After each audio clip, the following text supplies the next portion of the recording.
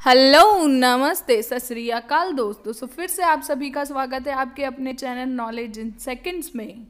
सो, आज हम बात करने वाले हैं राजस्थान की एक फ़ेमस आर्ट के बारे में, कठपुतली के बारे में, जिसने इसे इंटरनेशनल लेवल पे फ़ेमस किया है। कठपुतली लकड़ी की बनी होती है, राजस्थान को कठपुतलियों की जन्मस्थली कहा जाता है।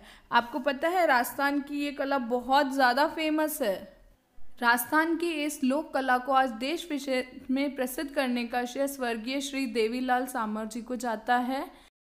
देवीलाल सामर जी द्वारा भारतीय लोक कला मंडल उदयपुर में स्थापित किया गया, जिसने इस कला को राष्ट्रीय और अंतर्राष्ट्रीय पहचान दिलाई है। यहाँ पर कठपुतली संग्रहालय भी स्थित है।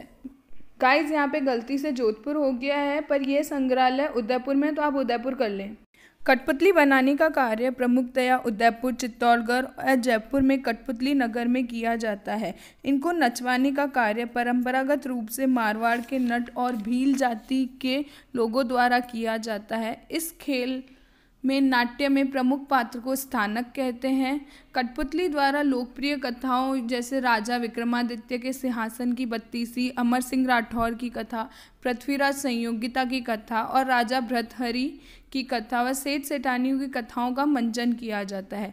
कठपुतली अरड़ की लकड़ी की बनाई जाती है तथा खंडित होने पर इसे जल में प्रवाहित कर दिया जाता है। सो आई होप आपको ये वीडियो अच्छा लगा और हेल्पफुल लगा हो। सो ऐसे ही और वीडियो पाने के लिए हमारे चैनल को सब्सक्राइब करें, बेल आइकन प्रेस करें और हमें जीके वी ट्रिक्स पे फॉलो करें। Thank you guys bye bye and don't forget to like our video bye